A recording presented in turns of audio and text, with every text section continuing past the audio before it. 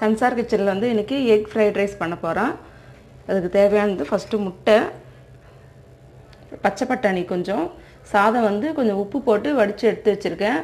Basmati rice கொஞ்சம் அரை வேக்காடாக இருந்தால் போதும் வடித்து வச்சுருக்கேன். கேரட் வந்து ரெண்டு கேரட்டு பச்சை மிளகா மூணு சின்ன வெங்க வெங்காயம் வந்து கொஞ்சம் பொடியாக கட் பண்ணி வச்சுருக்கேன். பீன்ஸ் ஒரு பத்து பீன்ஸு குடமிளகா ஒன்று லெமன் கொஞ்சம் வெங்காயத்தாள் ஒரு கப் எடுத்து வச்சுருக்கேன். கோஸ் வந்து ஒரு கப்பு. இது வந்து ஒயிட் பெப்பர் அரை ஸ்பூனு சோயா சாஸ் அரை ஸ்பூனு சில்லி சாஸ் அரை ஸ்பூனு தக்காளி சாஸ் அரை ஸ்பூனு உப்பு. இப்போ எப்படி செய்கிறதுன்னு பார்க்கலாம். இப்போ எண்ணெய் ஊற்றிக்கலாம் கொஞ்சம்.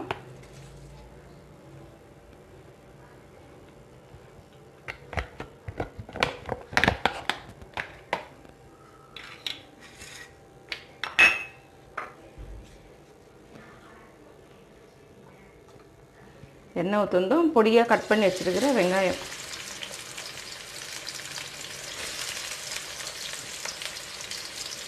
வந்து வெங்காயத்தாளில் இருந்த வெங்காயமாக நான் கட் பண்ணி வச்சுருக்கேன். அதுவும் சேர்ந்து இதிலேயே போட்டுருக்கேன். அப்புறம் பச்சை மிளகா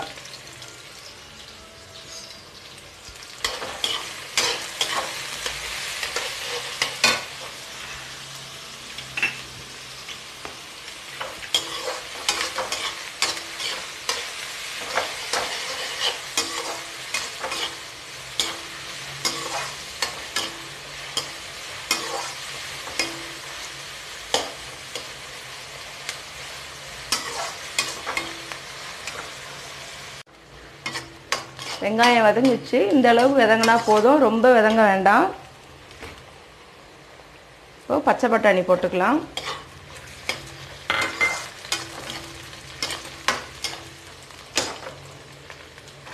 பீன்ஸையும் போட்டுக்கலாம்.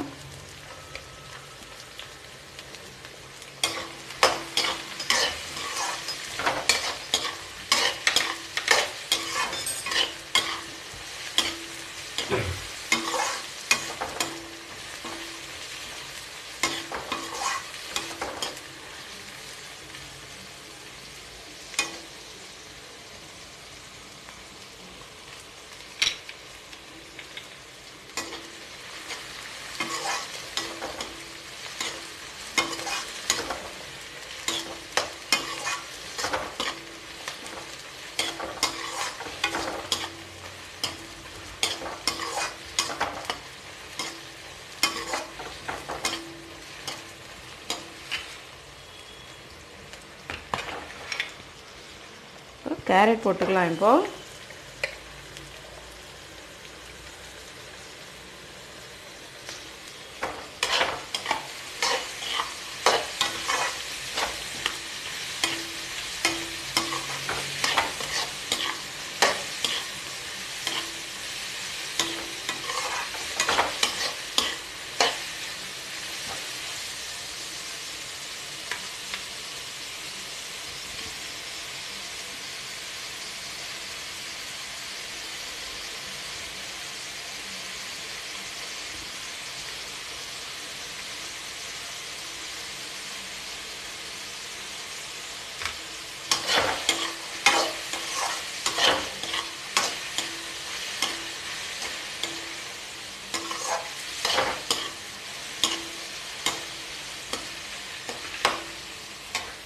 கேப்சிகம் போட்டுக்கலாம். எல்லாமே வந்து உங்கள் அரை வேக்காடு இருந்தால் போதும். அப்போ தான் நல்லாயிருக்கும். சாப்பிடும்போது நறுக்கு நறுக்குன்னு வாயில் பட்டுச்சுனா தான் நல்லாயிருக்கும். கோசையும் போட்டுட்டேன்.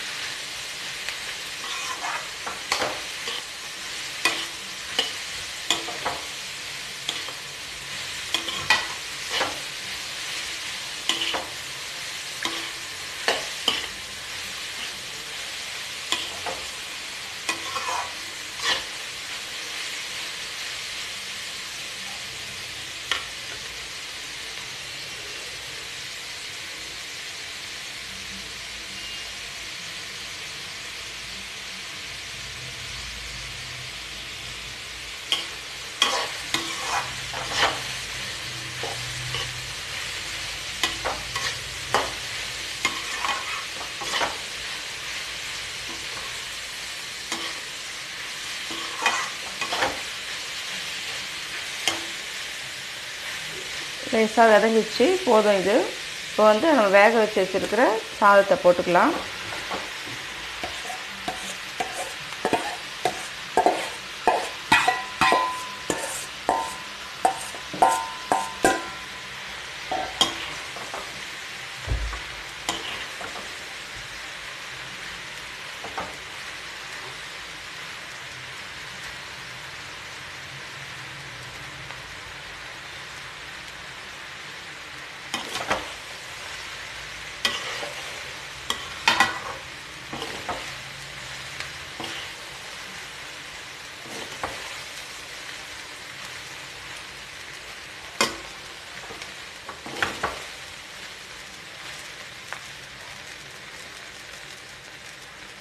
இப்போ வந்து சிம்மில் வச்சு கொஞ்சம் நேரம் ஒரு ஒரு நிமிஷம் இருக்கட்டும் அதுக்கப்புறம் கிளறி விடலாம்.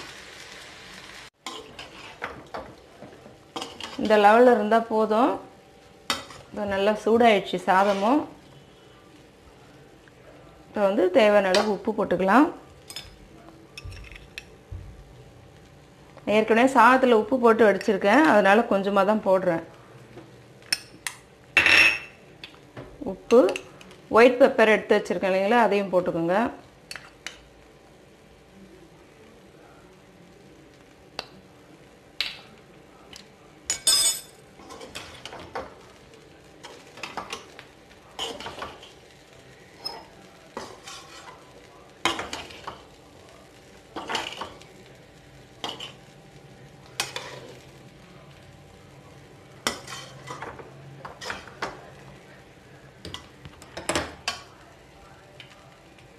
இப்போ ரெண்டு ஸ்பூன் வந்து சாஸ் தக்காளி சாஸ் எடுத்து வச்சுருக்கேன் அதையும் போட்டுக்கோங்க.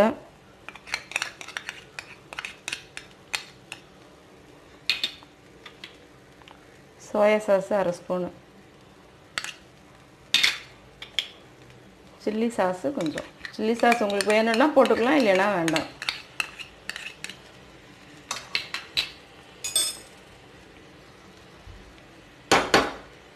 லெமன் வந்து ஒரு ஆஃப் லெமன்.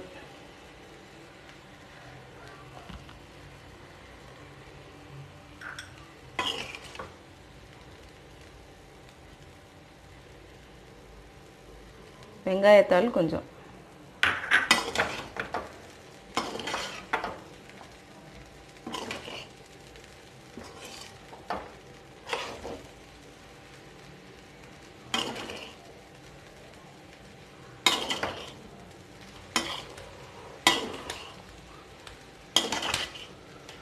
நல்லா சாஸ்லாம் மிக்ஸ் ஆகிற மாதிரி கலந்துக்கோங்க.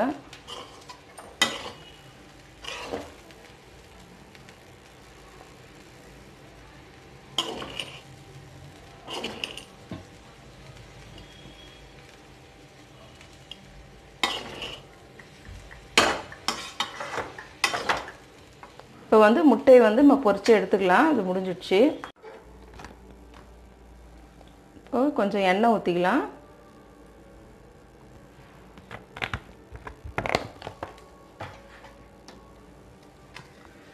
வந்து நாலு முட்டை எடுத்து வச்சுருக்கேன். அதை போட்டுக்கலாம்.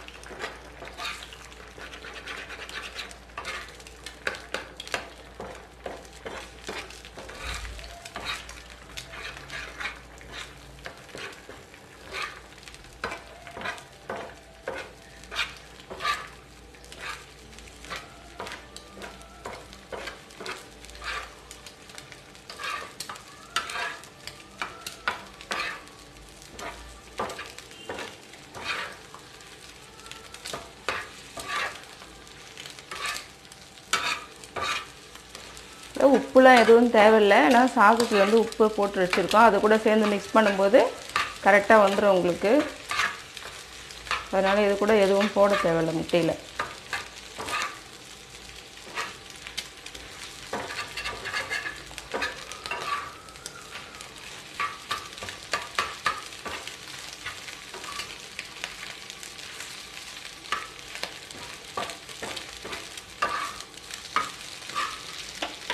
போதும் வெந்துடுச்சு. இதுமாரி ஒரு கிளாஸ் எடுத்து இப்படி பண்ணோம்னா நல்லா பொடியாக ஆகிடும்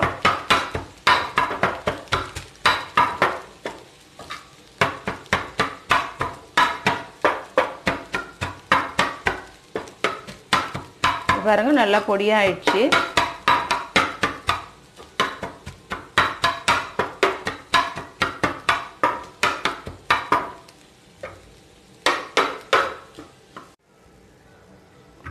நல்லா பொடியாக ஆயிடுச்சு பாருங்கள் இதை வந்து சாதத்தில் போட்டு மிக்ஸ் பண்ணிடலாம்.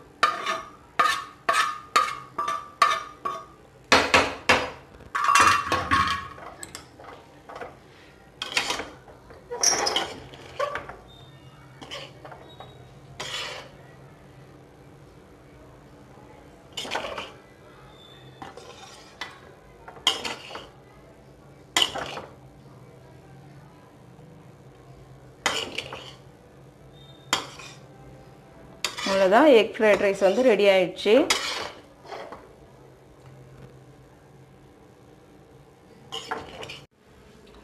ரெடி ஆயிடுச்சு. Fried rice egg fried rice. உங்களுக்கு இந்த வீடியோ பிடிச்சிருந்ததுன்னா லைக் பண்ணுங்கள் ஷேர் பண்ணுங்கள் மறக்காமல் சப்ஸ்கிரைப் பண்ணுங்கள்